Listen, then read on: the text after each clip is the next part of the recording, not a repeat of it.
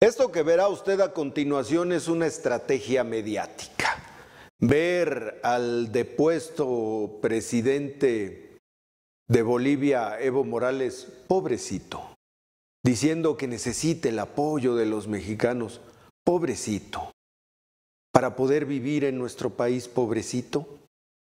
Es una estratagema mediática para desviar la atención respecto a lo que nos está costando mantener al señor. Además, Evo Morales no tiene ninguna necesidad de eso. ¿eh? O sea, tiene, puff, ya, y ya se ha visto que pues lana tiene el señor, pero hay que presentarse como víctima. No, hay que presentarse como una víctima, como alguien que realmente es un refugiado y que no tiene. Como varios sí llegaron al país. Evo no. Este señor tiene lana, harta.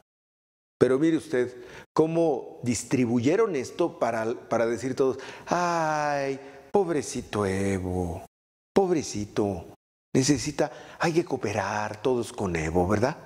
Mire usted. Esta noche declaramos nuestro lugar con cooperación.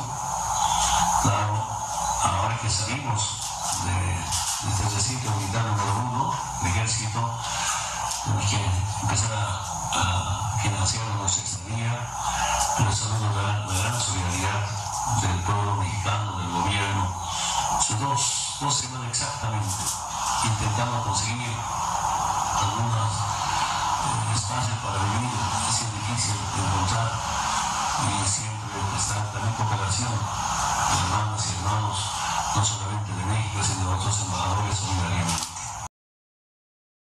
Marque usted 01800 Evo para poder rescatar a este señor boliviano. Es una estrata- estratagema ¿eh? y además medio baratona. Pero bueno, pues si usted quiere cooperar, a ver, ya luego le dirán cómo hacer llegar su dinerito para financiar la estadía de Evo Morales en México.